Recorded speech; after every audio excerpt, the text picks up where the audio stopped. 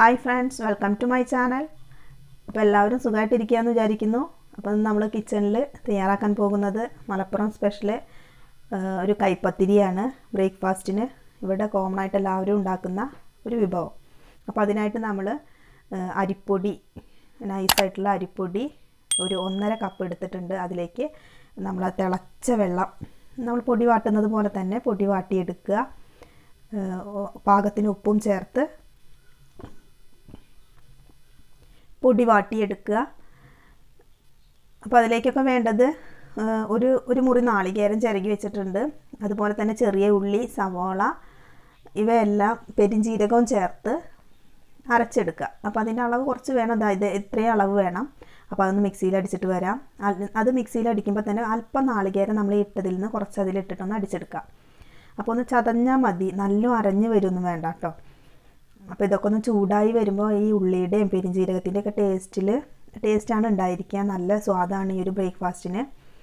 അപ്പോൾ പെരിഞ്ജീരകത്തിന്റെ ഫ്ലേവർ ഇഷ്ടപ്പെടാത്തവർ നല്ല ജീരകം ഇട്ടിട്ടും ചെയ്യാം കേട്ടോ.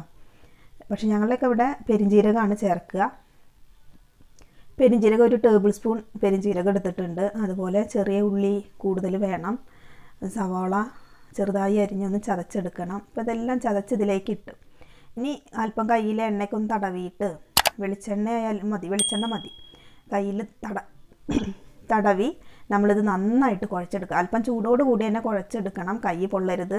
നല്ല ചൂടിലുള്ള സമയത്തൊന്ന് സ്പൂൺ കൊണ്ട് ഇളക്കി യോജിപ്പിക്കുക. എന്നതിന് ശേഷം കൈ പച്ചവെള്ളത്തിൽ മുക്കി ഇങ്ങനെ കുഴച്ചെടുക്കുക. ആ ചൂടറിയാതിരിക്കാൻ വേണ്ടിയിട്ടാണ് ഇടയ്ക്കിടയ്ക്ക് പച്ചവെള്ളത്തിലൊന്ന് കൈ മുക്കുക. ഇനി കയ്യിൽ വെളിച്ചെണ്ണ തടവി നമുക്ക് കുറേശ്ശെ അത് പരത്തിയെടുക്കാം. പരത്തിയെടുക്കുന്നത്. കൈപ്പത്തിരി എന്ന് പേര് വരാൻ തന്നെ കാര്യം ഇത് ഇത്രയും ക്വാണ്ടിറ്റി എടുക്കും കേട്ടോ ഒരു കൈപ്പിൽ അടങ്ങുന്ന അത്രയും ഒരു ഉരുള ആക്കി ഇങ്ങനെ ഒന്ന് ഉരുട്ടിയതിന് ശേഷം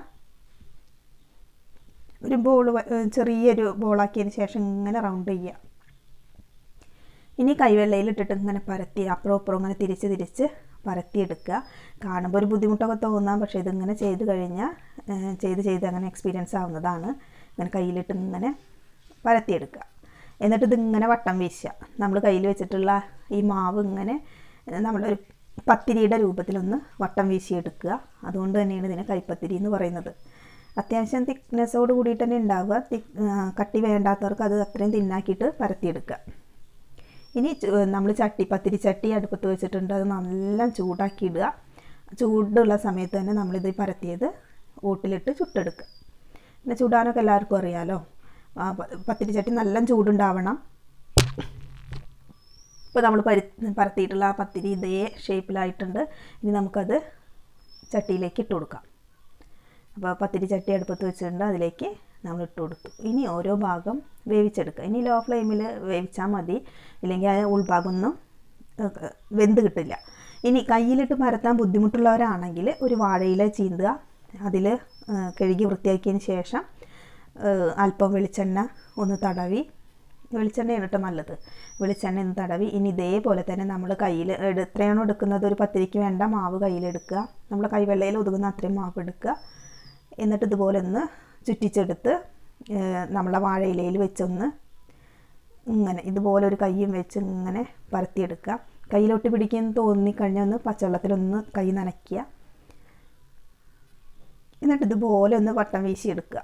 പത്തിരി ഷേപ്പിൽ എന്നിട്ട് അതിന്റെ എന്റെ ഭാഗങ്ങൾ റൗണ്ടായിട്ട് വരുന്ന ആ ഷേപ്പിലെല്ലാം നമ്മുടെ ഈ വിരൽ കുനിച്ച് ഇങ്ങനെ ഒരു ഷേപ്പാക്കിയിട്ട് ഇങ്ങനെ ഞൊറി ഞൊറി പോലെ ആക്കിയിട്ട് എടുക്കുക.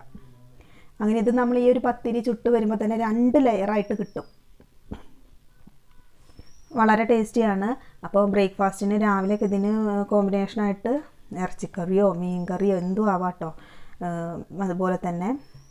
ഞങ്ങളിവിടെ പൊതുവെ നാളികേരപ്പാലാണ് ഉപയോഗിക്കുക. കട്ടിയിലുള്ള പാൽ. അപ്പോൾ അതും ഇതിന് നല്ലത് തന്നെയാണ്. അപ്പോൾ നമ്മളുടെ ഇഷ്ടത്തിനനുസരിച്ച് ഉപയോഗിക്കാം. മീൻ കറിയും ചിക്കൻ കറിയൊക്കെ വളരെ ടേസ്റ്റി ആയിട്ട് വരും. അപ്പോൾ ഇനി നമ്മൾ ഇട്ടിട്ടുള്ള പത്തിരി ഒന്ന് മറച്ചിട്ട് കൊടുക്കാം. അപ്പോൾ ഒന്നും എണ്ണ തടവ ഒന്നും വേണ്ട. ചട്ടിയിൽ നേരിട്ട് അങ്ങനെ ഇടുകയാണ്. എന്നിട്ട് ചുട്ടെടുക്കുക ചെയ്യുക. അപ്പോൾ നല്ല ചൂടുള്ള ചട്ടിയിലേക്ക് വേണം ഇത് ഇടാൻ. ഇല്ലെങ്കിൽ അടി പിടിക്കും കേട്ടോ. ചൂടാവാത്ത ചട്ടിയിൽ ഇട്ടുണ്ടെങ്കിൽ നമുക്ക് ശരിയായിട്ട് ഇത് ചുട്ടെടുക്കാൻ പറ്റില്ല. അപ്പോൾ അത്യാവശ്യമൊക്കെ ഒന്ന് മുരിഞ്ഞ് വരണമെങ്കിൽ ഇതിന് ടേസ്റ്റ് ഉണ്ടാവുള്ളൂ. ഇനി ഇതുപോലെ ഇങ്ങനെ റൗണ്ട് ചെയ്തെടുത്ത് കണ്ടില്ലേ? ഇതേ ഷേപ്പിൽ കയ്യിലിട്ട് പരത്താൻ അറിയാത്തവർക്ക് ഇതുപോലെ നമുക്ക് കൈപ്പത്തിരി ചെയ്തെടുക്കാം. ഇങ്ങനെ റൗണ്ട് ചെയ്ത് എടുത്ത നല്ല ഭംഗിയിൽ തന്നെ കിട്ടും. അപ്പോൾ ഈ ഉള്ളിയുടെയും പെരുംജീരകത്തിന്റെയൊക്കെ സ്വാദ് ഇങ്ങനെ മുന്തി നിൽക്കും. അത് തന്നെയാണ് ഇതിന്റെ ഹൈലൈറ്റ് കേട്ടോ ഈ പത്തിരിയുടെ. ടേസ്റ്റ് എന്ന് പറയുന്നത്. അപ്പോൾ തേങ്ങയൊക്കെ നമുക്ക് കൂടുതൽ ചേർക്കാം. അപ്പോൾ അത്രയും ടേസ്റ്റ് കൂടും. ഇനി ഇതൊന്ന് മറിച്ചിടാം. ഒരു ഭാഗം ആയിട്ടുണ്ട്. ഇതിങ്ങനെ ഒരു കളർ ഉണ്ടെങ്കിലും അല്പം മുരിഞ്ഞാൽ തന്നെയാണ് ഇതിന്റെ ടേസ്റ്റ് ഇത് കണ്ടോ? ഇതിങ്ങനെ ഒന്ന് ചുളിച്ച് കൊടുക്കണം. അപ്പോൾ രണ്ട് ലെയറായിട്ട് നമുക്ക് കിട്ടും. അപ്പോൾ ഇത്രയേ ഉള്ളൂ. ഇന്നത്തെ ഈ ഒരു ബ്രേക്ക്ഫാസ്റ്റ് വിഭവം എല്ലാവർക്കും ഇഷ്ടപ്പെട്ടു കാണുമെന്ന് വിചാരിക്കുന്നു. ഇഷ്ടപ്പെട്ടുവെങ്കിൽ ലൈക്ക് ചെയ്യുക ഷെയർ ചെയ്യുക സബ്സ്ക്രൈബ് ചെയ്യുക കേട്ടോ. അപ്പോൾ അടുത്ത വീഡിയോ കാണുന്നത് വരെ നന്ദി.